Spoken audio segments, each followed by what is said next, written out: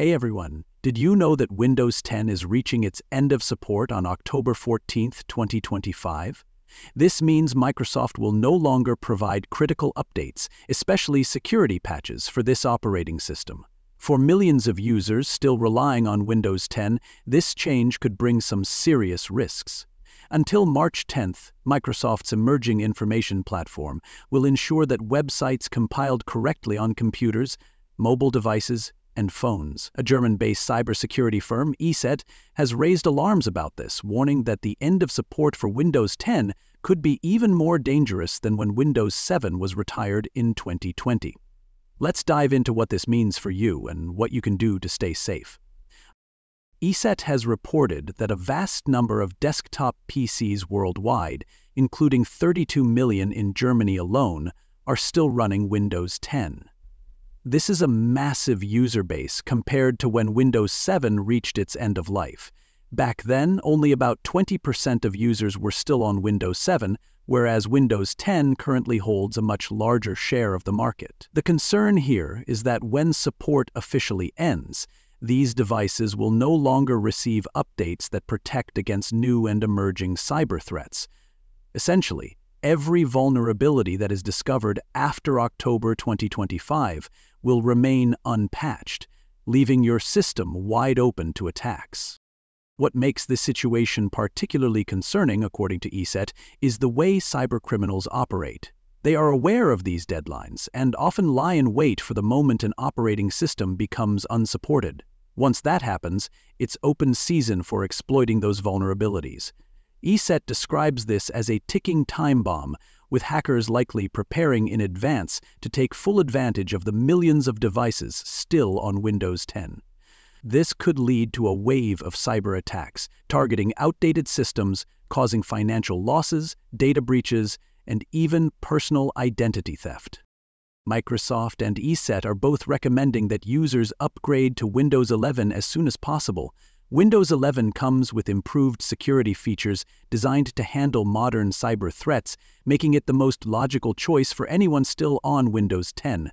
However, if your device doesn't meet the hardware requirements for Windows 11, you might need to consider alternative operating systems like Linux, which can offer a secure experience without requiring high-end specs.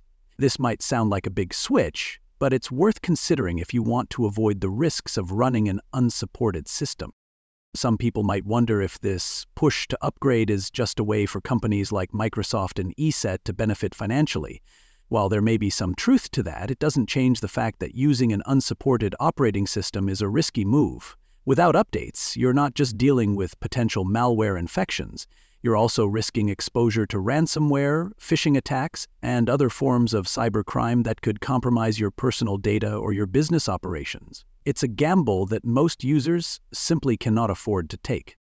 One thing ESET emphasizes is not waiting until the last minute to make a decision. The earlier you upgrade, the better.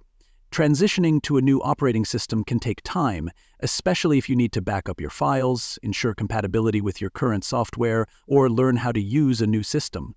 Starting the process now will give you plenty of time to make the switch smoothly, without rushing or risking data loss. Starting that process now helps your mall and is great for the website, for those who are unsure about upgrading, there are temporary workarounds to extend the security of Windows 10 after the official support ends. For example, using third-party security software and being extra cautious with online activity can help reduce some risks. However, these are not foolproof solutions and should only be considered as short-term measures while you prepare for a proper upgrade.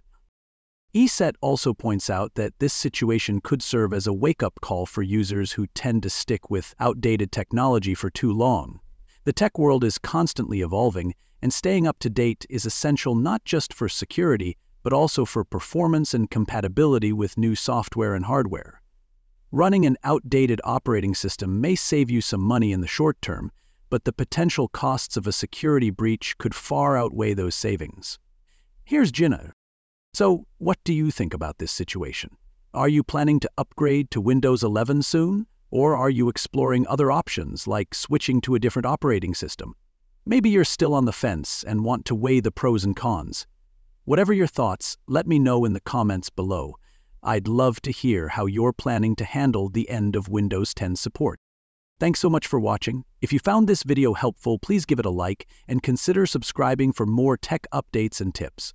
Stay safe, and I'll see you in the next one.